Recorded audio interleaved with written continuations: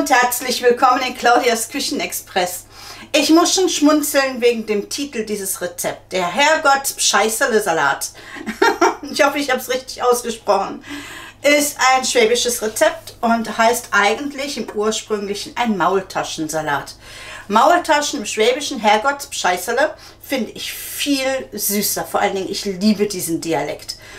Ähm, gewünscht wurde dieses Rezept oder es wurde ein Salatrezept gewünscht von der Mareike Balze aus dem Mitgliederbereich. Grüß dich Mareike, hier kommt deine Wunscherfüllung, ähm, weil du wolltest einen Salat, der satt macht.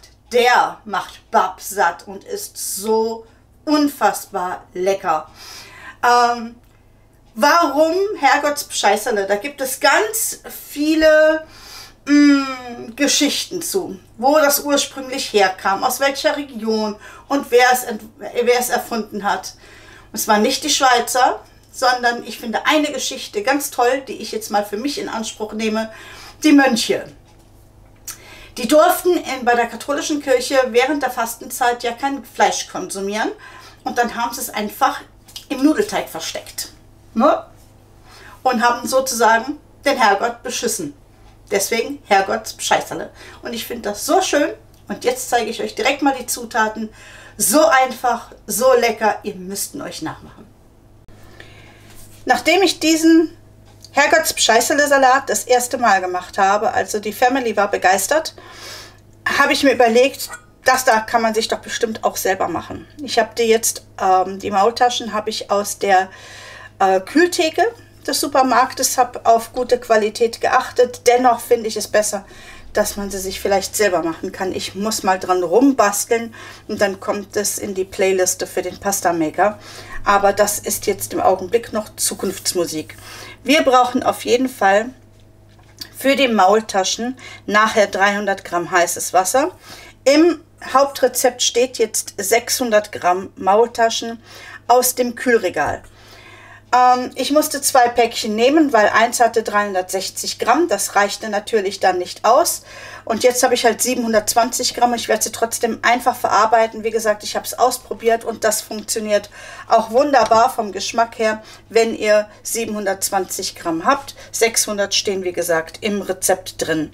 Zwei äh, Römersalatherzen, eine halbe Gemüsezwiebel, sollte ungefähr 120 Gramm sein dann einen roten Apfel, wir sollten da auch bei 200 Gramm sein. 30 Gramm Olivenöl, 70 Gramm Speckwürfel, 50 Gramm Cornichons. Ähm, könnte man Gewürzgurken nehmen? Ja, ich weiß allerdings nicht, ob es sich dann geschmacklich so verändert, weil Cornichons sind schon wesentlich milder, finde ich jedenfalls. Dann 20 Gramm Balsamico, Essig hell, einen halben Teelöffel Salz, ein Viertel Teelöffel weißen Pfeffer und einen halben Teelöffel Dijon-Senf. Als erstes nehme ich meine Salatschleuder.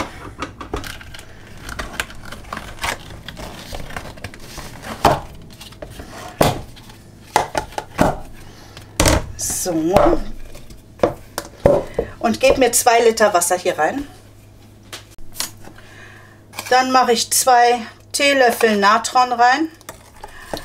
Weil gerade Salat, Äpfel, überhaupt Gemüse, was ist bei Bio nicht schon alles hängen geblieben, wo man trotzdem Pestizide festgestellt hat und so. Und ich vertraue dem Ganzen nicht mehr. Und ich will das auch nicht in meinen Lebensmitteln, in meiner Nahrung drin haben. Deswegen löse ich mir jetzt hier das Natron auf. In zwei Liter Wasser habe ich jetzt zwei Teelöffel. Das kann man sich gut merken. Ein Teelöffel auf einen Liter Wasser. Da gebe ich dann meinen Apfel rein.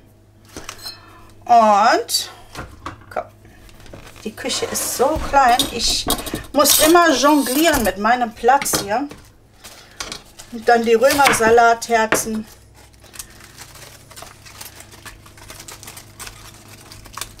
So. Die lasse ich einfach darin baden für 15 Minuten.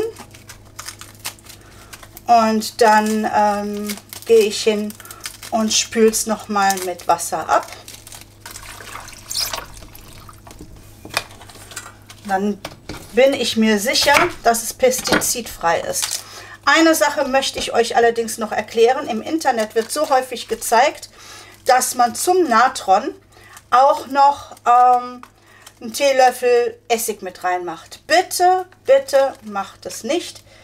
Ähm, diejenigen, die sich mit Reaktionen auskennen, wissen ganz genau, machst du Essig und Natron zusammen, dann hat man eigentlich nur noch Wasser, weil es hebt die Wirkung auf. Das hebt sich gegenseitig auf und dann habt ihr die Pestizide trotzdem noch in euren Gemüse oder in eurem Obst. Also, hört ihr, oh, ja, kommt schon gut was runter. Und das spüle ich dann nachher nochmal mit klarem Wasser ab. So. Jetzt nehme ich mir meinen Varoma-Behälter, setze mir mittig meinen Dampfkamin, damit die Schlitze frei bleiben, ja. Und hole mir meine Maultaschen und schneide mir die in Streifen. Also ich mache die ungefähr in so dicke Streifen, dann zerfallen die auch nicht. Und das kommt dann in meinen Varoma-Behälter. So, ich gebe immer schon heißes Wasser in den Mixtopf und zwar 300 Gramm. Deckel aufsetzen. Varoma. Den verschließen. Und das wollen wir jetzt dünsten. Und zwar 15 Minuten auf Varoma äh, Stufe 1.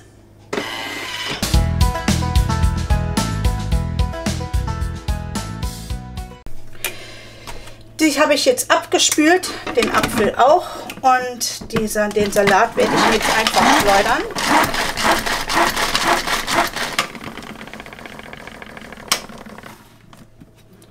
Reicht auch schon und wunderbar trocken.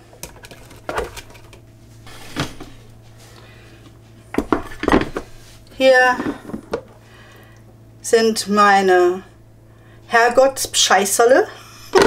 ich liebe dieses Wort. Das finde ich so cool. Das setze ich mir auf Seite. Und den Mixtopf werde ich leeren. Weiter geht's. Und zwar kümmern wir jetzt uns um die Zwiebel und ähm, um den Speck. Die Zwiebel schneide ich jetzt einfach in Spalten. Jetzt könnt ihr hingehen und könnt die Zwiebel und den Speck könnt ihr gerne in der Pfanne mit ein bisschen Öl ausbraten oder wenn ihr den TM6 habt, dann könnt ihr es auch machen, wie ich es gemacht habe. Ich habe hier, wo habe ich meine Rezepte? Dann habe ich meine eigenen Rezeptlisten, die Kreation, die kann man ja so anfertigen, Rezeptlisten aufbauen und ich habe mir eine angelegt, die heißt Anbraten. Es gibt nämlich hier ähm, ein Rezept, das heißt, wo haben wir es denn? Zwiebel, Zwiebel, Zwiebel und Chili, Zwiebel und Knoblauch, hier, Zwiebeln und Speckwürfel anbraten. Dann starte ich ganz einfach das Programm und ähm, na, hier Olivenöl, da. Gebe 15 Gramm Olivenöl rein.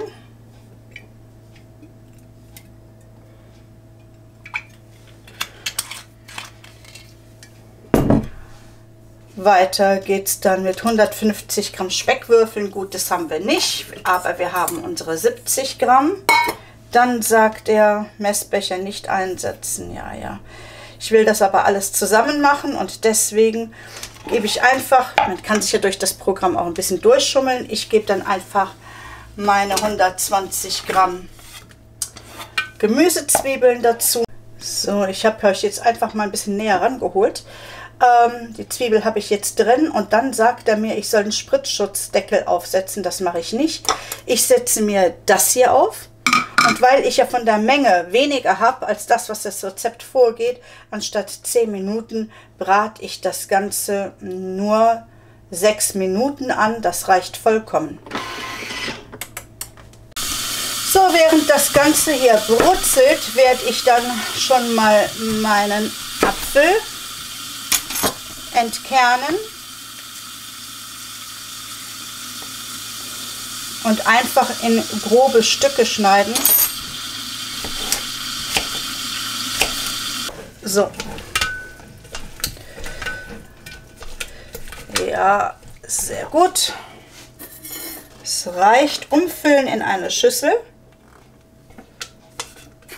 Jetzt kommen 200 Gramm Apfelstücke dazu. Dann unsere 50 Gramm Cornichons. 10 Gramm Olivenöl.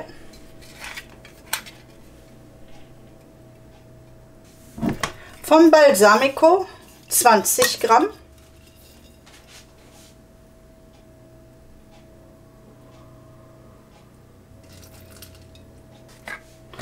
einen halben Teelöffel Salz,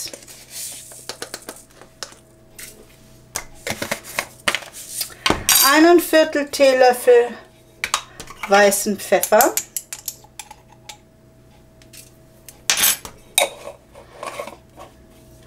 und einen halben Teelöffel Dijon-Senf. Ich stecke jetzt meinen müsste reinpassen. Ja, gerade so. Gerade so passt es noch rein. Meinen Miximizer. Deckel aufsetzen. 5 Sekunden auf der Stufe 10. Und ich brauche eine große Salatschüssel. Und ich nehme einfach hier die Salatschüssel vom, ähm, von der Schleuder. Das ist alles gar kein Problem. Ich liebe es praktisch in der Küche, weil ich weiß, es bleiben keine Überreste. Das wird sowas von schnell weggefuttert. Ich habe das beim letzten Mal gesehen. Ich habe gedacht, zuerst habe ich gedacht, oh, ob das mal was für den Sohnemann ist. Ja, von wegen. Jetzt gebe ich das dazu, was wir im Mixtopf haben. Eine richtige Soße ist es ja nicht. Deswegen kann ich auch nicht Soße dazu sagen. Weil ihr seht halt, ne, das ist die Konsistenz. Ähm, und das erste Mal, als ich das gesehen habe, dachte ich, naja, ob sich das so gut verbindet. Doch, tut's. Und den Römersalat einfach in mundgerechte Stücke zupfen. Und denkt daran, es sind vier Personen. Man kann das schon ein bisschen abschätzen, wie viel man von dem Salat reinmachen möchte. Und dann kommen die Maultaschen, schon ein paar dazu, die sind noch lauwarm. Also ihr könnt den Salat lauwarm essen oder kalt. Er schmeckt beides so hervorragend.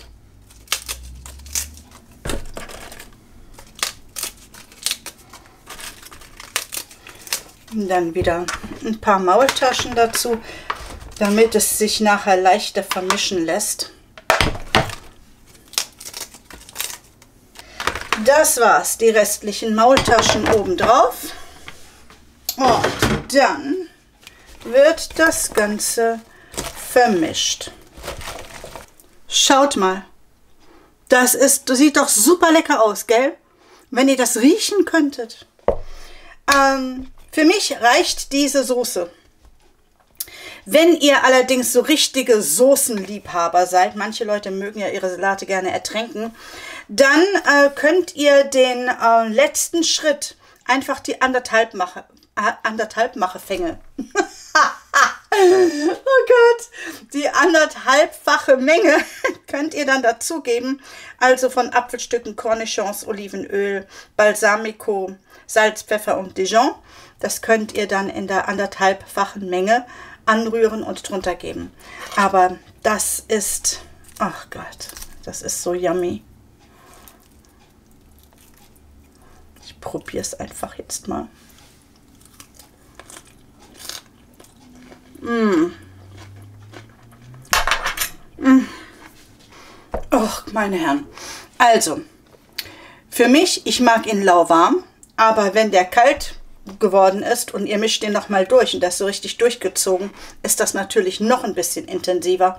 Aber liebe Mareike, ich glaube, du wirst ihn lieben und ähm, probier ihn einfach mal aus und lass deinen Kommentar drunter. Das ist ein Salat, der macht dich satt und der ist auch gut für euren Garten oder zum Picknick oder so. Kann man super mitnehmen, einfach in die Kühltasche mit ein paar Akkus oder so, ja. Und ihr seid im Garten im, am Nachmittag gut aufgehoben und versorgt. So, das war's für heute. Ich möchte es nochmal sagen. Das war der Herrgott Scheißerle Salat. ich finde den Namen einfach nur herrlich. So, ich habe meinen Spaß gehabt, ihr hoffentlich auch. Und jetzt warte ich darauf, dass mein Sohn von der Arbeit heimkommt und dann wird der Salat schnabuliert. Er wird begeistert sein, dass es den nochmal gibt. Ich hatte ihn nämlich letzte Woche gemacht zum Ausprobieren. Und ähm, ja, dann geht es weiter in dieser Woche. Und am Mittwoch gibt es ein Brotrezept. Wieder ein neues. Ihr werdet begeistert sein, weil es geht sehr schnell. Es wird einfach alles zusammengemischt, 15 Minuten gehen lassen, ab in den Ofen, fertig. Und ähm, das schmeckt super, super. Könnt ihr zum Frühstück nehmen, einfach mit ein bisschen Butter drauf oder so. Oder zum Grillen, Picknick oder, Mareike, zu deinem Salat mit in den Garten nehmen. Also es ist einfach nur yummy, yummy, yummy. Und ich hoffe, ihr seid wieder dabei. Bis dann, bleibt neugierig, eure Claudia. Ciao!